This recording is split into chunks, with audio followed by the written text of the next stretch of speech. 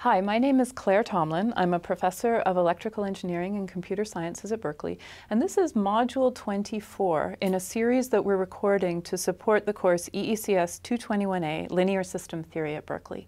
In this module, we're going to talk about uh, diagonalization of a matrix and how it's used in systems theory, how it makes analysis of a system easier.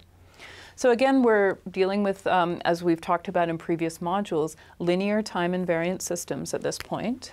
So in general, this is our system. x dot is equal to ax plus bu. y is equal to cx plus du. And um, in terms of solving this equation, we know, um, and we know exactly how to write out the solution of the equation. So if we have an initial condition x0,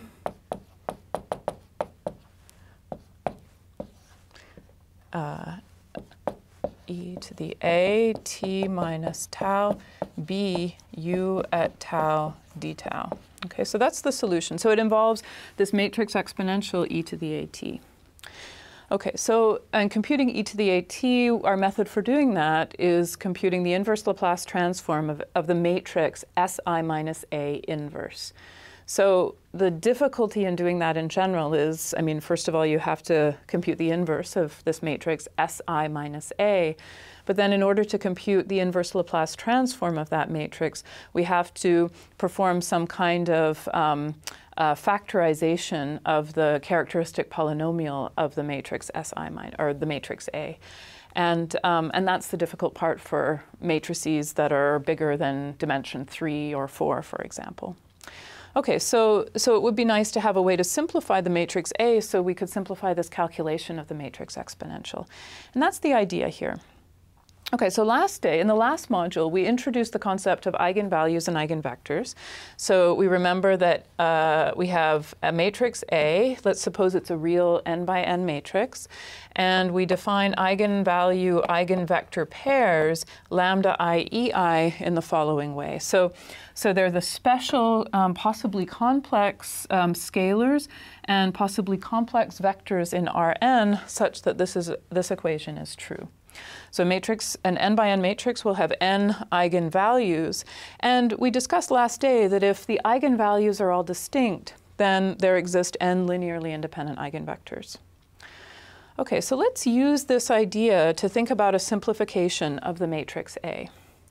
Let's suppose that we um, construct a matrix which is going to be part of our similarity transform on the matrix A. I'm going to call it uh, T inverse and it's constructed through its columns. So T inverse is an n by n matrix whose columns are the eigenvectors of the matrix A.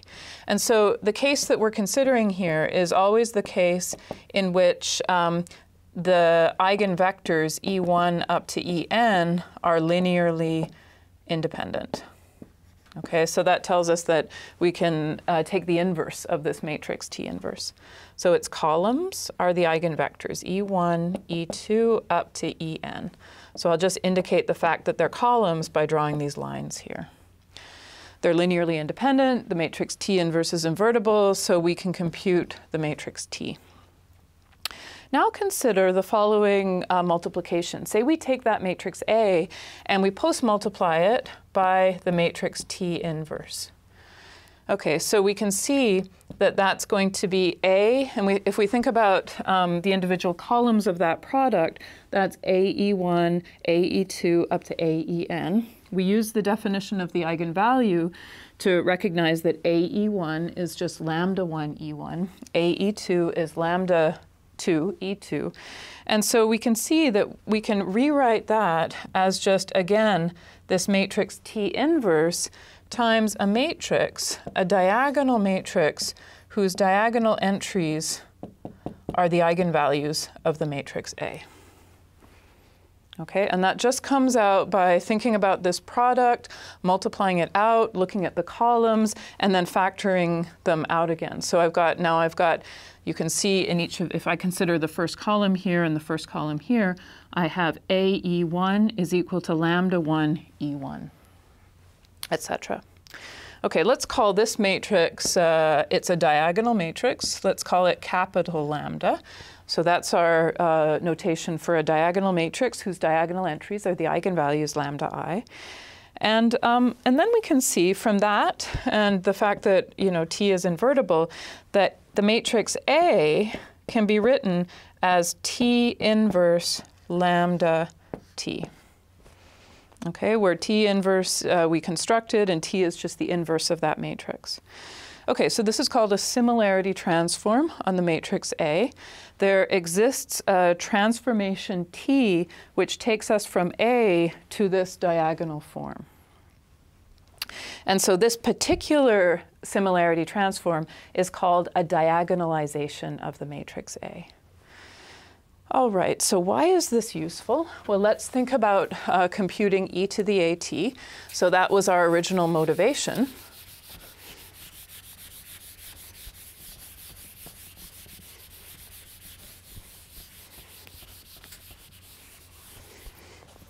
Okay, so we have uh, our matrix e to the at.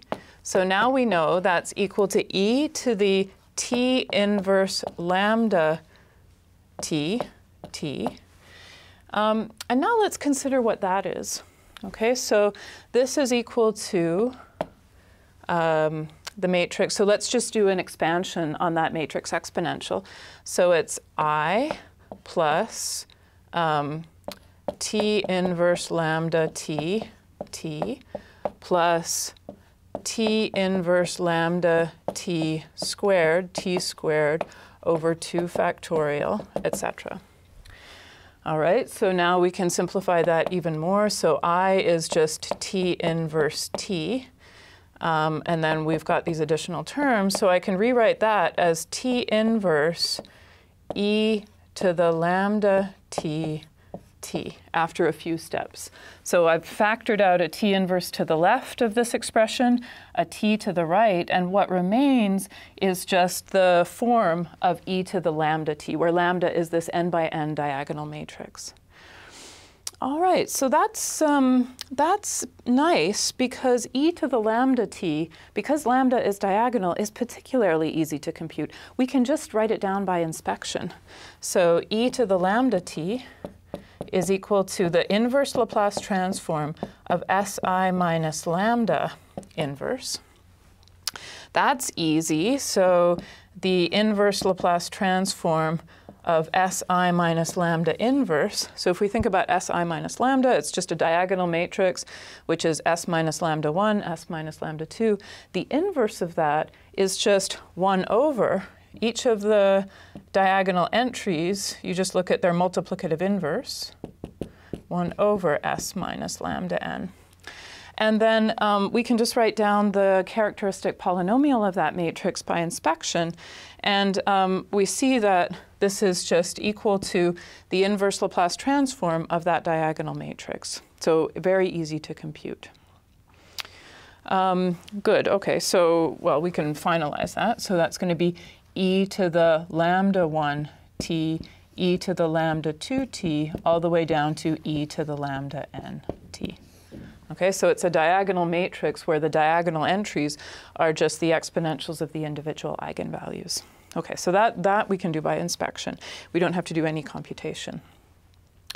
Um, okay, and then uh, the relationship between e to the at and e to the lambda t just comes back and forth between the similarity transform. So we write out e to the lambda t by inspection, and then we get back to e to the at just by pre-multiplying by t inverse, which we know, post-multiplying by t, which we know. Okay, so, so diagonalization provides an easy way to compute this uh, matrix e to the at if the matrix A is diagonal. Let's just uh, end this by spending a few minutes talking about other things that this kind of similarity transform allows us to do. So going back to the original system equations that we had,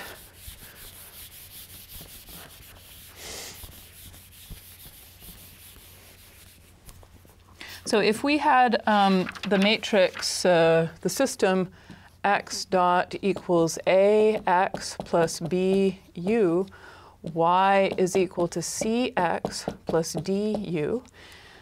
Uh, and now we look at um, this, uh, this system which depends on the matrix A. So A is a general matrix. Suppose A is diagonalizable, so it can be written in this form. And suppose we consider a, um, a state transformation. So let's define a new state Z which is equal to T times X. So the matrix T, which is the inverse of the matrix whose columns are the eigenvectors of A, um, multiplied, pre-multiplied by the state vector X.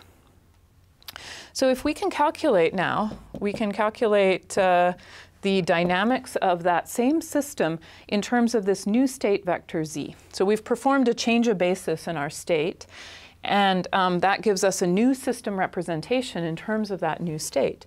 But we can always get, if we compute the dynamics of this system Z and then we solve it, we can always get back to X because we have a well-defined relationship. So it's a, um, a bijective relationship between Z and X.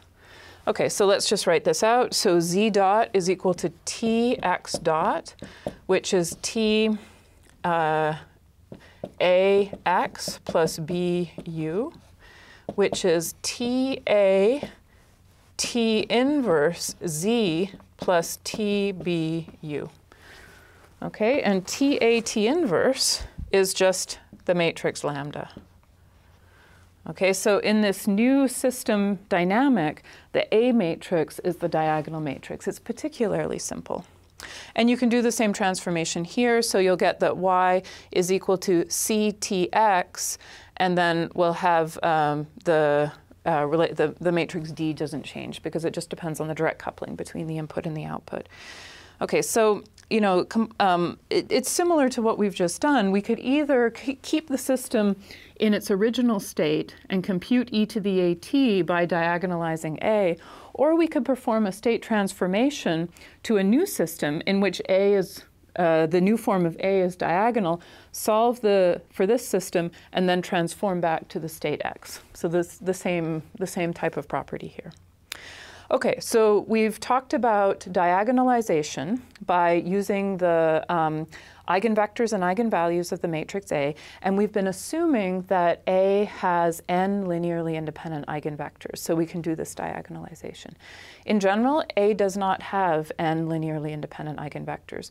We're guaranteed that if the eigenvalues are distinct, then it does, but we may have repeated eigenvalues. And then you may have n linearly independent eigenvectors, but you may not. So in general, instead of a diagonal form, we, um, we strive to compute something called the Jordan form, which is the generalization of the diagonal case. And we'll treat that in the next module. Thanks.